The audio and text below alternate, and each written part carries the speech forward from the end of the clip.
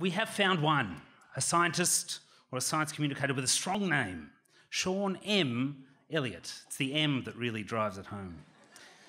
A science communicator and presenter who has worked for over a decade with groups such as CSIRO and, from the corner over there, Museum Victoria. He, he, currently runs Rough Science, which provides science presentations and activities to schools and community groups. He will, he will soon be moving to Scotland for six months to work on the Edinburgh Science Festival. But tonight, we have him here.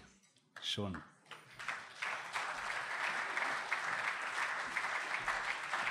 Thank you.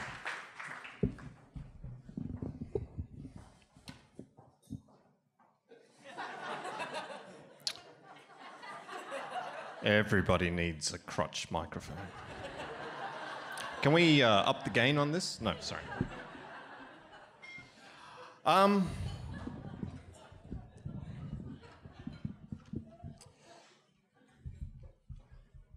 banjos. Just imagine going out there to Antarctica, spending all that time, the snow, the ice, being lost, being frozen, succumbing to frostbite and ailments, and somebody has a banjo.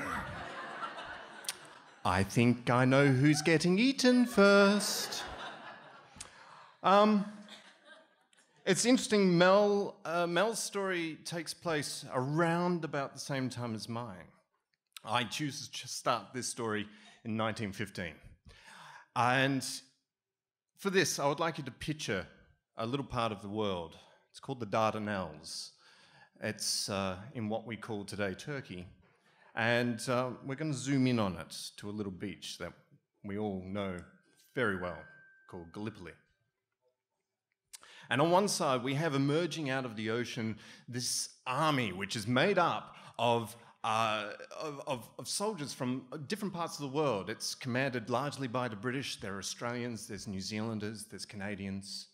On the other side, there's the Ottoman Empire and their soldiers. And one soldier in particular, right now, we have no idea what his name is, but he's likely to be around 20, in, in his 20s somewhere. He's currently cradling a rifle. It's a German rifle, a Mauser. It's got a, an 8 millimeter caliber, caliber bullet in the chamber. And this bullet is just about to change the world. Except first, we're going to rewind back about two years. It's 1913. And um, 1913, I want to put us to another part of the world, University of Manchester.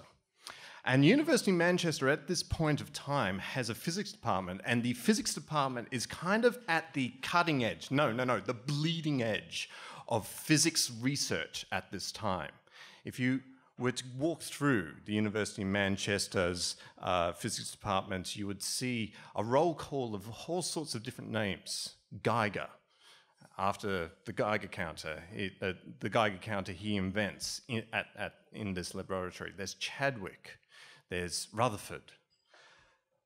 But in particular, I want to focus on a, a young man in his mid 20s who arrives at Manchester University to do teaching under the tutelage of, of uh, Ernest Rutherford. And his name is Henry Moseley.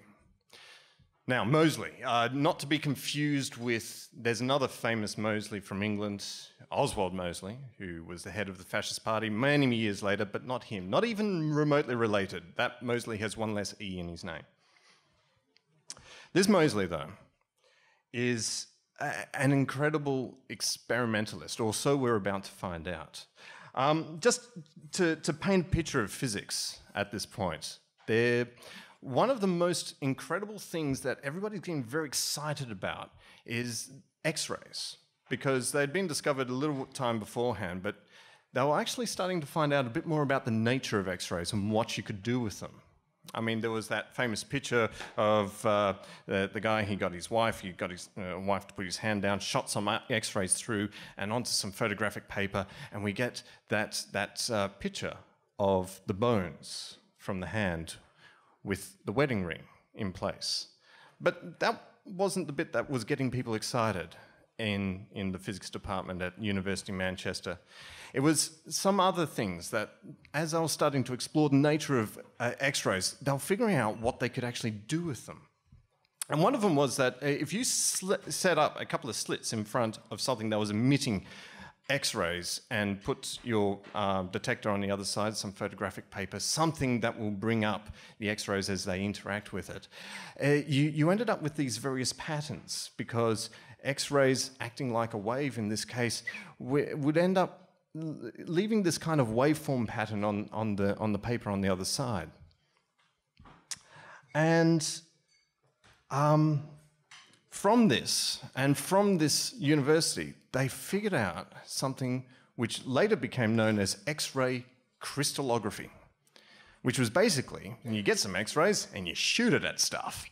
And then you look at the pattern on the other side, and it turns out these X rays are actually giving you a lot of detail about what's on the inside of this stuff. You see, visible light, all around us here at the moment, has a particular wavelength. And the wavelength of X rays was much, much shorter. So it meant that if you shot visible light at something and you had that thing being much smaller than the actual wavelength of visible light, it meant you couldn't actually see it because it didn't interact.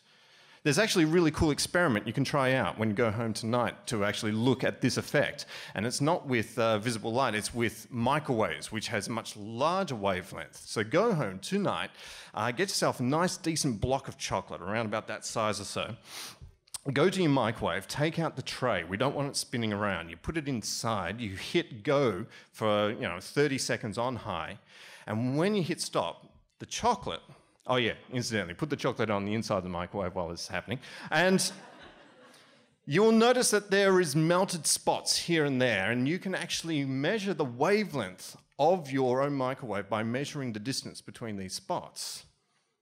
Second experiment to try is you find yourself an ant and put it in the microwave, put it on 30 seconds on high. Don't worry, I've tried this. It's okay. It's forget about the urban myths about things exploding in there. The ant will be fine. The ant is smaller than the wavelengths of microwaves. Don't do it with hamsters. anyway, so X-rays were suddenly being discovered as being incredibly useful for, to, to uh, actually look at things that, that are, are, are much smaller than we could actually pick up with light. Let's just take a sideways step for a moment and think about elements. Because at this point, a lot was known about this, this, these things called elements. And um, by this stage, a, a, certain thing that we now know as the periodic table of elements. It's kind of that iconic thing of science, the periodic table of elements. You, everybody can, as soon as I say that, I imagine most of you here will have a picture of what that looks like. This elegant table that, well, kind of elegant table. It's got these big bits at bit, a little asterisk down here where all these ones here are meant to be stuck in there. And actually, the table's about this long, but they make it this long so it fits on page. At any rate, this table was starting to be being formed. See, previous to this, the idea of elements, if we go right back to Plato, elements were easy. There were four of them. There was uh, air, earth, fire, wind, and if you grew up in the early 90s, heart. and when you combine these, they called on Captain Planet. Captain Planet, he's a hero. Gonna take pollution down to zero. Gonna help him put asunder bad guys who like to loot and plunder. You'll pay for this, Captain Planet.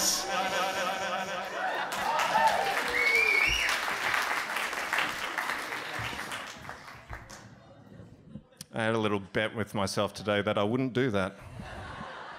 I just lost and won. What were we talking about?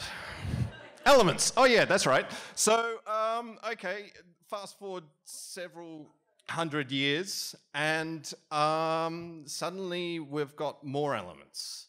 In fact, today we have quite a lot more elements than just four.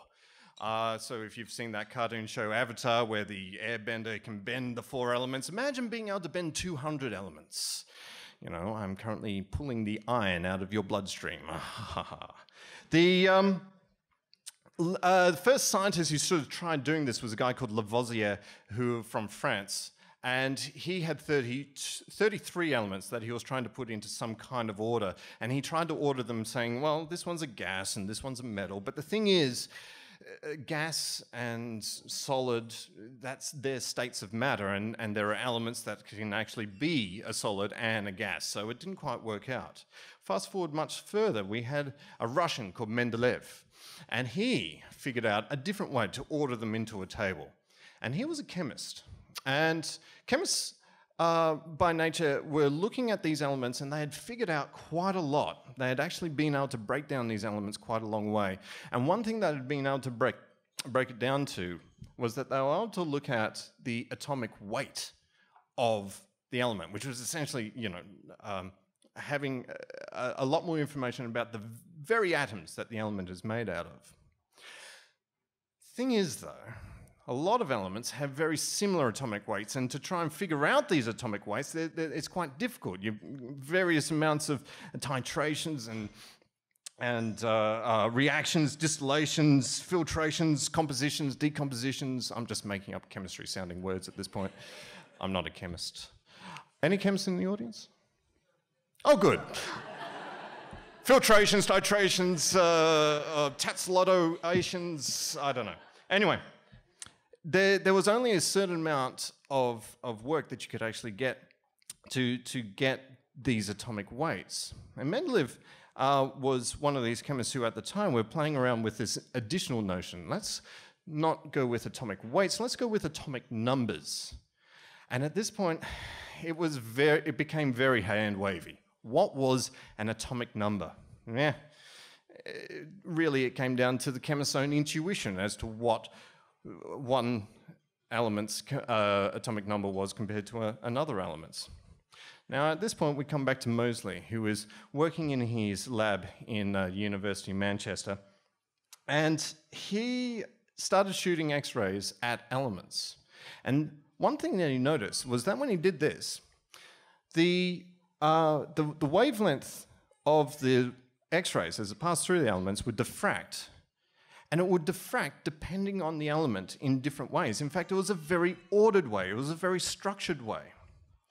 And what he figured out was that these atomic numbers actually did refer to something.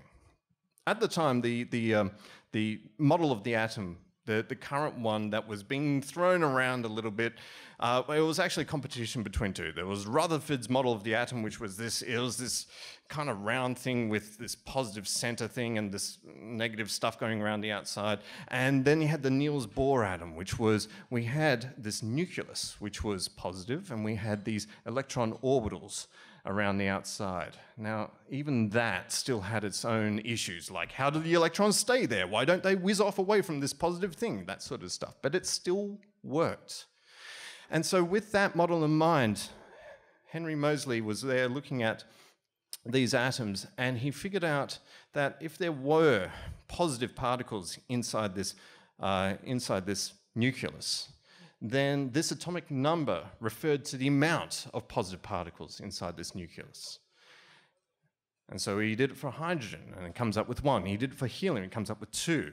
And beryllium, boron, carbon, nitrogen, oxygen. Yeah, help me out. Fluoride. Uh, um, um, keep, keep going, fluoride. Uh, uh, what, what's next? What's next? Neon, neon. Um, actually, I've got them written down here, really. I mean, uh, sodium, magnesium, aluminium. We could go on. But he started to build up the table using this particular method. And it was because he was a very precise experimentalist and um, was very precise in, in, in his experimentation and built up what was to become what we now know as the modern day periodic table as per atomic numbers. Um, now, the really cool thing about this was that there were some gaps as he did this, he went, hang on a second, I don't have anything for this part, and I don't have anything for this part. I predict sometime in the future we will find elements to go in these parts here, which of course did happen. Eventually, down the track, elements were discovered that fit, fit into these uh, missing blank parts. So he had a, an amazing career stretching out ahead of him. And this was 1914. 1914 was also the same year that uh, an archduke went for a, a drive with his wife, and he and his wife got shot. And uh, after a series of incredibly unfortunate events, Europe descended into war. And in 1915, Moseley was part of the Signal Corps on the beaches of Gallipoli. And he was right at one moment standing up to, to uh, give an order over a telephone when that bullet that I mentioned before impacted with his head. This is uh, just one of those moments where a light is extinguished out of the world. And during World War I, so many lights were extinguished, so many stories were gone. And Henry Moseley and, and the periodic table is just one of those stories, which I leave with here tonight. Thank you very much.